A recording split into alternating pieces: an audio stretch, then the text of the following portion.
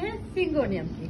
Syngonium यानी कि arrowhead बहुत खूबसूरत प्लांट है, बहुत सारी वैरायटी आती है, बहुत सारे तरीके से मैं इसे इस्तेमाल करती हूँ। हैंगिंग बास्केट में लगाती हूँ छोटे छोटे प्लांटर्स में लगाती हूँ, बड़े गमलों में लगाती हूँ और इसके अलावा किसी भी अरेंजमेंट में और ग्राउंड कवरेज के लिए भी मैं इसे यूज़ करती हूँ, क्योंकि इसमें बहुत सारे कलर बॉक्स आते हैं और ये बहुत आसानी से बढ़ जाता है। एक बार मार्केट से एक एक वैरायटी के पौधे लेके आई थी और आसानी से मैंने मल्टीप्लाई कर लिए हैं, क्योंकि इसमें निकलती है ये एरियल रूट्स इन एरियल रूट्स को आप कट करिएगा मनी प्लांट की तरह और इन्हें दबा दीजिएगा साधारण से सॉइल के मिक्सचर में। बहुत आसानी से बढ़ जाएगा और पानी में भी बहुत अच्छा चलता है तो घर में डाइनिंग टेबल पे आप गुलदस्ता बना के लगा सकते हैं बॉटल में, या फिर आप ड्राइंग रूम में सजा सकते हैं खूबसूरत सी बॉटल में लीका में लगा सकते हैं।